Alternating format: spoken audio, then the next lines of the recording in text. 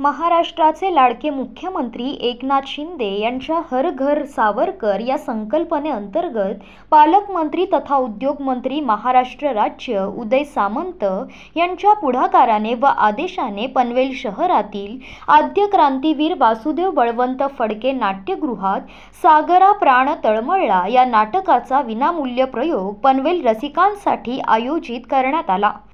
शिवसेना भाजपच्या संयुक्त विद्यमाने आयोजन यशस्वी करण्यात आले. प्रचंड संख्येने सदर प्रयोग हाऊसफुल झाला. प्रयोगादरम्यान नाट्यरसिकांचा व सावरकर प्रेमींचा प्रतिसाद वाखणण्याजोगा होता. सावरकरांचे विचार घरोघरी पोहोचविणे या प्रामाणिक जाणीवेतून ही मोहीम सुरू आहे.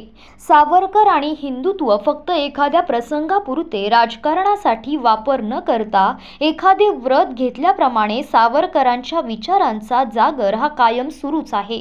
स्थानिक आमदार प्रशांत ठाकूर महानगर प्रमुख माजी नगरसेवक ॲडव्होकेट प्रथमेश चंद्रशेखर सोमण शिवसेना शहर प्रमुख प्रसाद सोनावणे शहर संघटक अभिजित साखरे उपशहर प्रमुख अर्जुन परदेशी विभाग प्रमुख आशिष पनवेलकर तोफिक बागवान साहिल भुसकुटे तथा शिवसेनेचे सर्व स्थानिक पदाधिकारी व शिवसैनिक बीजेपी सांस्कृतिक सेलचे अभिषेक पटवर्धन व संपूर्ण टीमचे या कार्यक्रमासाठी सहकार्य लाभले.